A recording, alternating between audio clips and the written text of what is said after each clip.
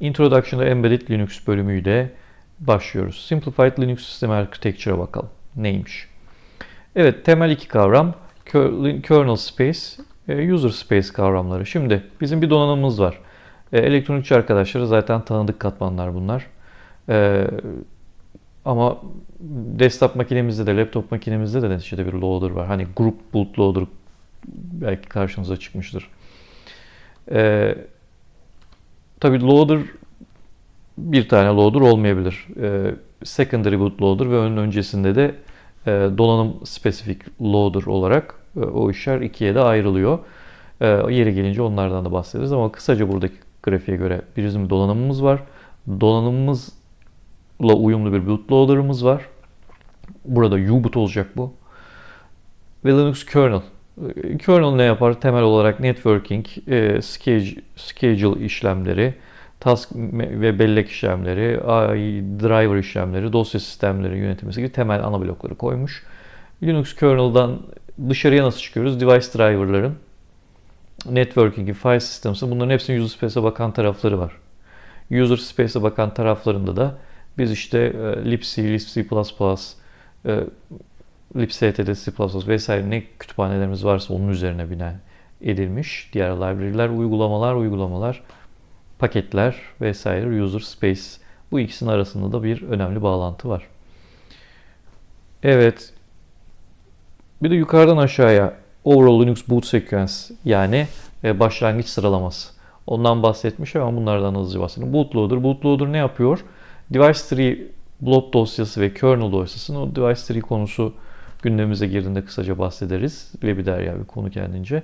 RAM'e load eder ve kernel'ı başlatır. Kernel başladıktan sonra e, ne yapacak? Temel olarak root file system, rootfs e, neredeyse orayı mount edecek ve içerisinde e, sistem 5 e, init yapısına göre default olduğunu varsayıyoruz. S1000 init dosyasını bulacak. Init'in çalışmasıyla beraber kabuk ve diğer uygulamalar e, etkileşimli kabuk ve diğer uygulamalarda takır takır takır takır başlayacak. Bir nolu PID ile init uygulaması sistem açık olduğu müddetçe açık olur. Çalışır o da. Temel kavram var Embedded Linux Work için. BSP Work Board Support Package. BSP'nin açılımı Board Support Package. E, donanıma göre her e, TI'yi NXP'si BSP yayınlar. O BSP üzerinden de e, sizin genel geçerli Linux'unuzla donanımınız uyumlu bir arada çalışabilir.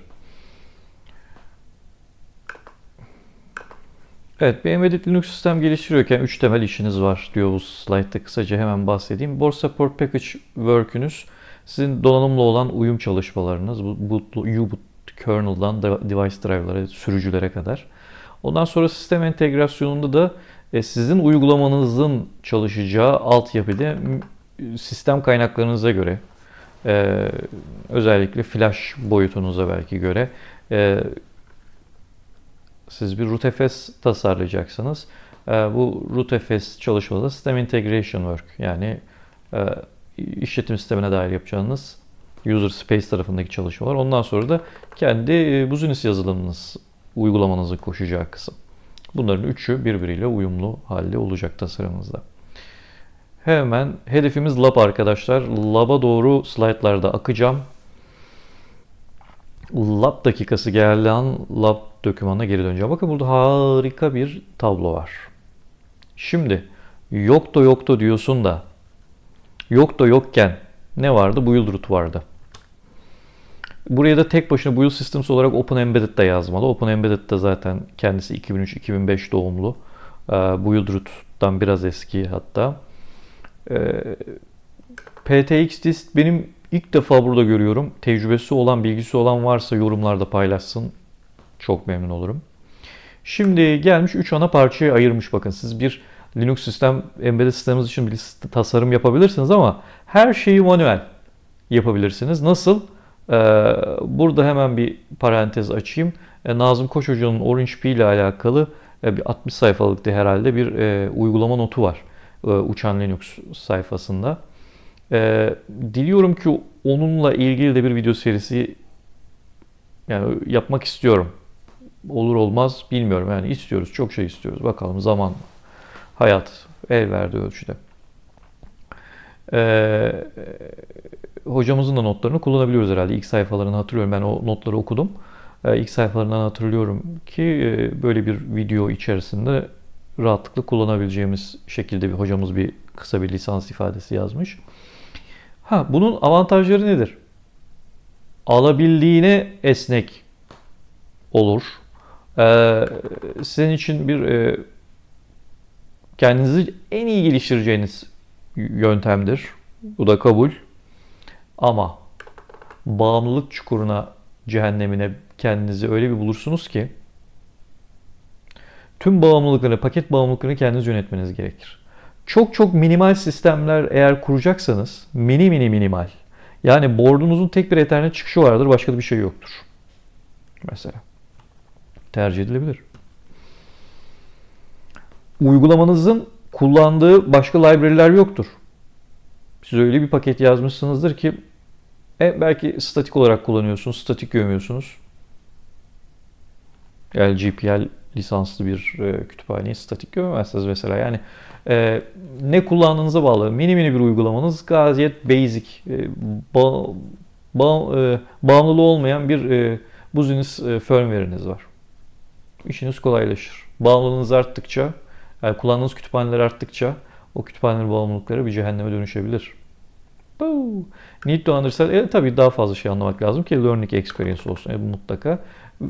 Versiyon uyumu dependency ile alakalı yeni bir mesele. Ha, benim asıl vurgulamak isteyeceğim şey bu. Genel geçer bir şey ortaya koymuş olmuyorsunuz. Tamam kapalı devre. Şirket bilgisi mühendisten mühendise aktarılır. İlk kuranların kurduğu şekliyle e, beynelminel bir build sisteminiz vardır. Olabilir. Sonra Debian Ubuntu Fedora.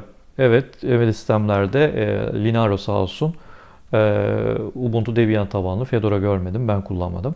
Ama Debian Ubuntu tabanlı e, uygul sistem geliştirdim.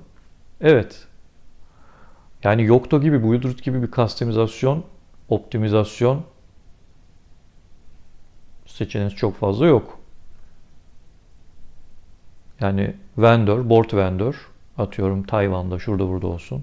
Yaptı, aldı, gönderdi. Ben yaptım, oldu dedi. Gönderdi, kucağınıza attı. Yani tercih edilmemesi gereken bir şey. Yani. Ama çal, yani şartlar öyleyse bu şekilde de geliştiriyorsunuz. Ee, uses native compilation slow. Hayır hocam. Orada da cross compile kendinize toolchain oluşturuyorsunuz. Kendinize e, mesela ARMv7 bir sistemdir. ARMv7 bir toolchain oluşturursunuz. Pekala native compile yani native compilation'dan kastı cihazın board'un içerisindeki native derleyiciyle cihazın içerisinde derleme yapıyor olmanız. Evet büyük uygulamalarda bu çok yavaş oluyor tabii ki. Yani Raspberry Pi'nin içerisinde bir, bir büyük bir küt tabanlı vesaire tabanlı bir şeyler derleyin. Bir de bir laptopunuzda derleyin. Farkı görün. Ee, burada arkadaşlara yanılmış yani bu doğru bir ifade değil. Yani ha native compilation siz kullanırsınız yavaş olur tamam ama cross compile yapabiliyorsun yani Debian'da Ubuntu'da olsa. Large system evet. E, büyük bir sistem oluyor. E, Debian Ubuntu tabanlı bir dağıtımı e, yani 100 MB'ın altına düşürmek kolay olmayacaktır. Evet, well defined mekanizm tamam yoktu gibi böyle genel geçer bir şey elinizde olmuyor. Ee, evet, large system olduğu için, büyük bir sistem olduğu için zorunlu bağımlılıklar. Ee, Ubuntu'nun, Debian'ın ben ayağa kalkarken bunlarla kalkarım arkadaş şeklinde dediği sülalesiyle birlikte e, gerekli bağımlılıklar dolayısıyla zaten large system oluyor. E, bütün architecture'lar için, bütün mimarlar için yok. Yani benim çalıştığım hep ARM V5, ARM V6, ARM V7. Hatta ilk ARM V4 ile gözümüzü açtık. Ee, bunlar olduğu için yani ARM V7'de kullanmıştım ben açıkçası Ubuntu tabanlı emez sistemi. yani ben karşı tabii başka misktir işte bilmiyorum farklı architecture'lar. Onlar için uygun yani Linaro'ya bakar. Linaro'da varsa üzerine Ubuntu giydirirsin. Yani bu da tartışılır bir kısım. Gelelim bizimkine. Build root yoktu. Build root. Evet ilk kullandım benim de build sistemlerden de. Encurses tabanlı basit e, kernel konfigürasyonu yaptığınız Encurses ekranı vardır terminalde çalışan. E, öyle bir konfigürasyon yapısı var. Ama Yokta'yı görünce bu Yudrut'a bir de hani hani bu Yudrut'un yeni versiyonlarında da belki e, bayağı bir change, değişiklik vardır. Yani ben koptum bu Yudrut'tan kullanmayalı çok oldu. Evet, nearly full flexibility çok doğru bir ifade. Yani hemen hemen neredeyse e, everything manual kadar e, ne dedik everything manual'i merak ediyorsanız nereden bulacağınızı biliyorsunuz. İlgili dokümanı söyledim. Ee, evet her şey kaynak koddan arkadaşlar. Her şey Git'ten iniyor. Target'e indiriyorsun. Git olarak fetch ediyorsun. Her şey evet. İşte mesele bu. Bak burada olmayan ve burada olan mesele bu. Senin e, projende bu e, devam ettirilebilirlik, bunun tekrar üretilebilirliği, e, ya senin e, mühendis kadrona ne kadar bağlı kullandığın teknoloji. Ya bir şirket sen bunu kara kara düşünmen lazım. Böyle genel geçer e, tool'lar kullanma kabiliyeti olan e, mühendis kitlen varsa rotasyonlar çok canını sıkmaz. Ama sen her şeyi ben yapayım, her şeyi baştan ben yapayım. Sonra rotasyonlarda şirketin elinden gidecek hale gelir. Kobiler. Cross compile kullanır. Dedik diğerleri de kullanır. Örneğin e, işte Nginx sunucu ama e, atıyorum e, gömülü sistem için spesifik hale getirilmiş paketlerini kullanıyorum diyor gibi anlıyorum. Tamam. Her şeyi seç. Evet burada güzel bir blok diyagramımız var. Girdiler. Mutfak. Çıktılar. Çıktılardan başlayalım. Tersen gidelim. Evet rootfs. Nedir rootfs? Root file system imajımız yani bizim e, user space'te kullandığımız e, işletim sistemi diskimizi oluşturan kısım. Sistem kısmı yani Linux'un e, sistem kısmı. Linux kernel. Linux Linux'un kendisi nedir? Zaten kernel'dır. Bootloader U-bootumuz ve toolchain'imiz. SDK çıktısı da üretebiliyoruz. Biz ne yapıyoruz? İşte biz yeşil biziz. Konfigürasyonumuzu yapacağız. Gireceğiz. Oyuna yeşil blok biziz arkadaşlar. Buradan giriyoruz. Open source components dedi bu fetch'ler yapacağız. Yani paketler hep her şey canlı canlı indiriliyor source'tan geliyor. Onlar. In-house components evet. In-house components dedi e siz kendi uygulamanızı da buraya dahil edebiliyorsunuz. Çok tatlı bir şey işte. Yoktu e, CI/CD pipeline yapısına gayet e, uyumlu bir build platform. Uh, building from source, cross compiling, receives from building components, easy. Reklamları geçelim biraz daha hızlı.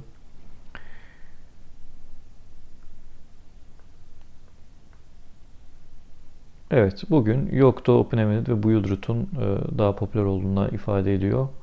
OpenVRT benim bildiğim kadarıyla network alanına spesifike biraz uğraşmıştım var fazla değil. Embedded bir Linux dağıtımı neden build sistemler arasında saymış? Evet yokta slash open embedded demek en doğrusu hani GNU slash Linux demek gibi nazik bir ifade olacaktır.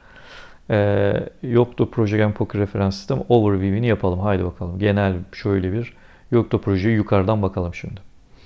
Yokta projeyi tanımlamış şablonlardan, tool'lardan çeşitli metotlardan işte layer'ları, recip'leri yazdığımız oluşan bir Linux tabanlı bu bir build sistemi. Evet. 2010'dan bu Richard Purdy tarafından da bakımı yapılıyor. E, bakarsınız LinkedIn'de e, yoktu architect olarak çalışıyor. Evet temel bileşenler Bitbake, Open Embedded'den gelen kısımlar ve Poki. Bitbake bizim burada bahsettiği gibi Make, belki Make'den de öte CMake, QMake gibi daha üstte bir e, build engine'i. Ama Bitbake'de server, client çalışma tarzları da var. Bayağı güçlü. Tüm resipleri, tüm layer'ları elden geçirir, tüm resipleri yorumlar e, ve size günün sonunda gigabaytlarca derleme, günün sonunda belki konfigürasyonunuza göre 10 MB rootfs de çıktınız olur. Open Embedded Core, Open Embedded işte Open Embedded geleneğinden gelen asır bu layer'larla düşünme meselesi Open Embedded'den geliyor. Poki'de referans Linux dağıtımı, referans sistem. Ve MetaPoki diye bir layer var. Oh şöyle güzel bir blok diyagram. Bayılırım blok diyagramlara.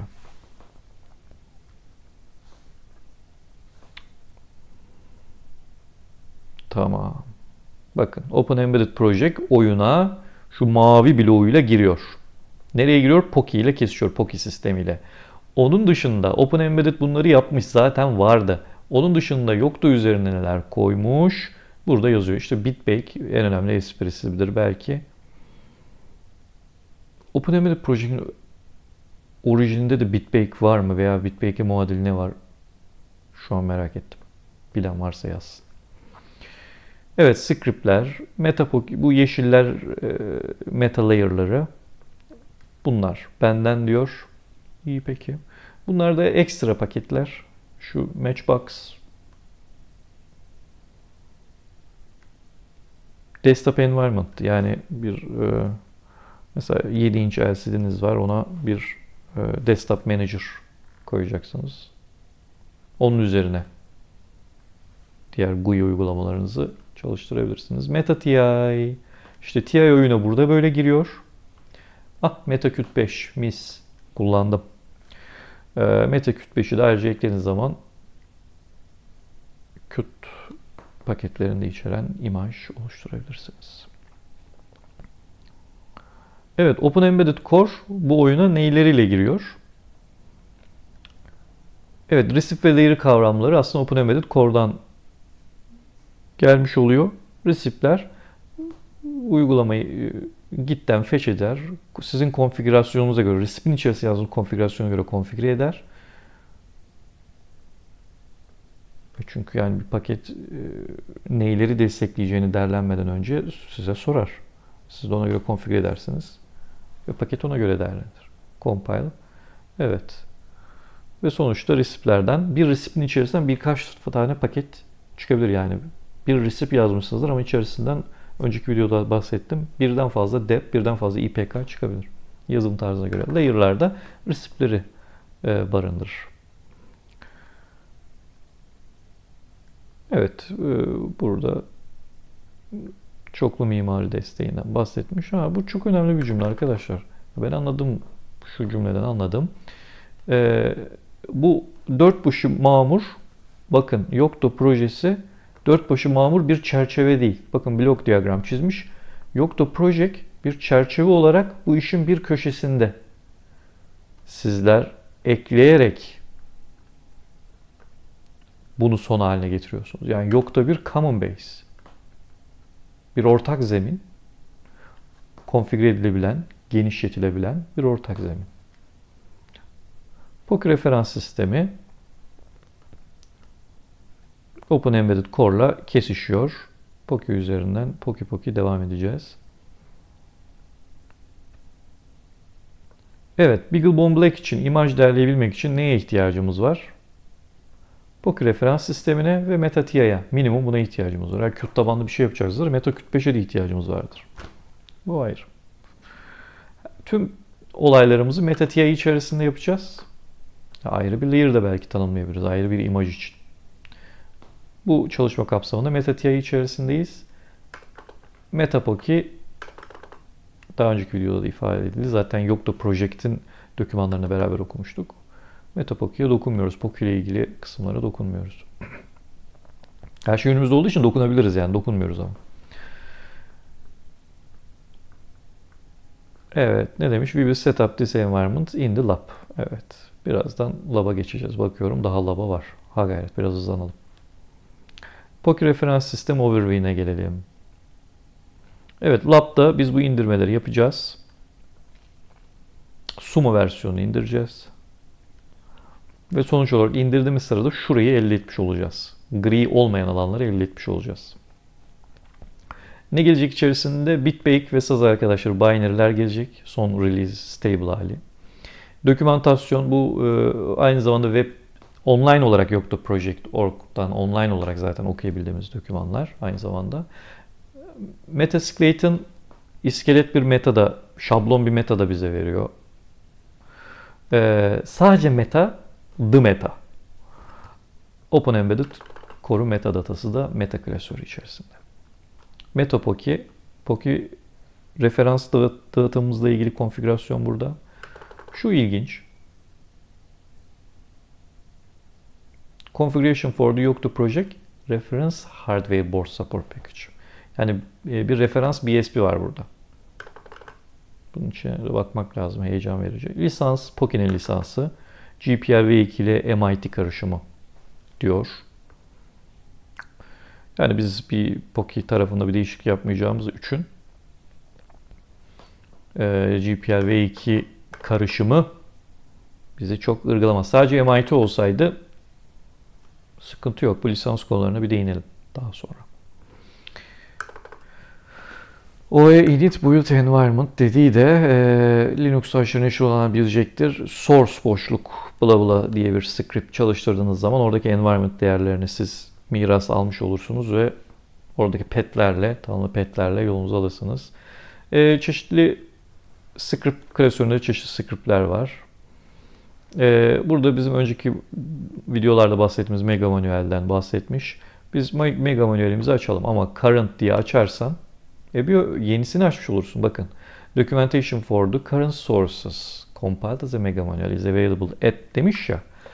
Current Sumo değil. Current Zeus. E, dolayısıyla e, Sumo'nun mega manueline gitmemiz lazım. Örneğin burada 253 25 Sumo'nun e, nickname olduğu versiyon yoktu 253. 253 de e, Sumo için yayınlanmış son doküman.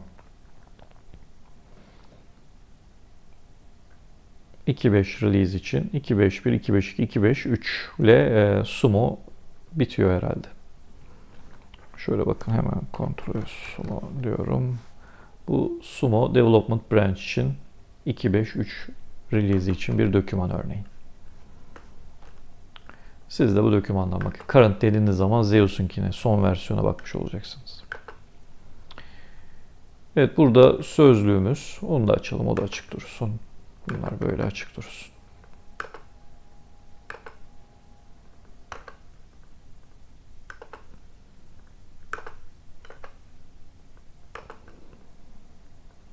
Yok şöyle açalım onu.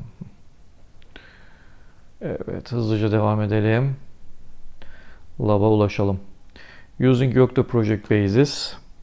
Haydi bakalım. e, Yokta Proje'nin temellerin Yokta Proje kullanmanın temellerinden bahsedeceğiz şimdi. Çevre değişkenlerinin tanımlanması, set edilmesi.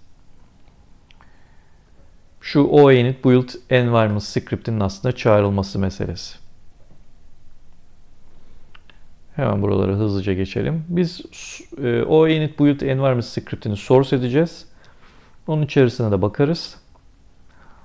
E, build dir parametresi verirsek opsiyonel vermeyeceğiz. E, dolayısıyla e, indirdiğimiz klasör içerisinde default yerinde olacak. E,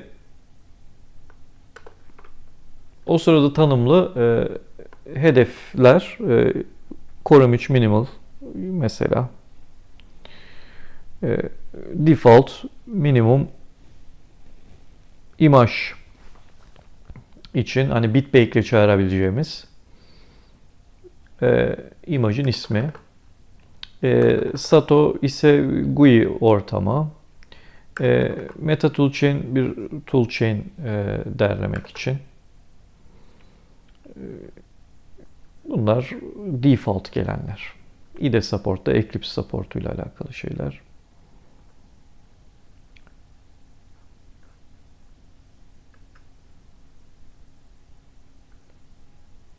Evet, Bitbake biraz önce bahsettik ana komutumuz. Bir de Bitbake'in saz arkadaşları var. Yeri gelince onlardan da bahsedeceğiz. E, şu an klasör yapısı içerisinde geziniyoruz. Canlı canlı da göreceğiz birazdan. E, şu temp klasörüne özellikle bakalım. Conf'un altında local conf ve bb layers conf'lar olacak.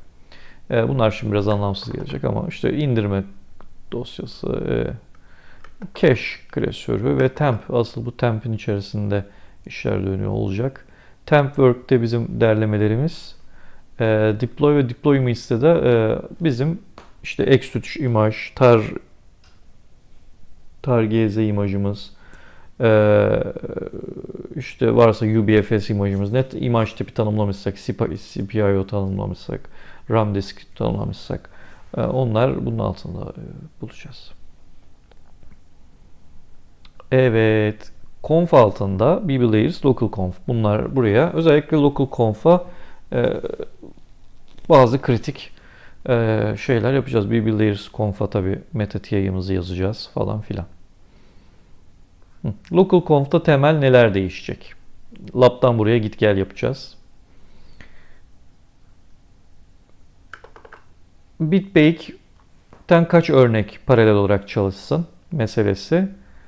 Ee, ve make yaptığınızda hani make ki treje ile verdiğimiz var ya veya treje dolar slash approach slash diye verip e, aynı anda make'in kaç thread ile çalışacağını daha hızlı yapmak için bit baking'si thread sayısı burada. E, kaç tane make thread'i açılacağını da buradan tanımlayacağız. E, ve makine tipuna da BeagleBone yazacağız mesela. Ne var? Default'ta Camo yani sanal sanal makine default makine. Bu yılda ne match? Bu, yıl en image saat ilerledikçe dilime dönmüyor artık. Evet, Bitbake'in e, Bitbake'e hiç option vermezseniz direkt receipt name'i verirseniz yani bu şöyle gibi düşün. Paket adı gibi düşün. Hep Nginx'ten gidiyorum. Bitbake boşluk. Eğer Nginx isimli bir receipt varsa, reçete varsa Bitbake boşluk Nginx dediğiniz zaman o gider Nginx paketini paket olarak derler. Bir IPK, dep paketi olarak derler. Ee, evet. Bitbake, target. E, option, TRC option olabilir vesaire optionlar var. Onları göreceğiz. Mesela yukarıda core image minimal dedik ya. Default olarak. Bakın hiçbir konfigürasyon yapmadık. Bitbake boşluk core image minimal dediğimiz zaman Kemo x86 tabanlı mini mini bir sanal makine imajı e, bize oluşturur. Çok şükür laba kavuştuk.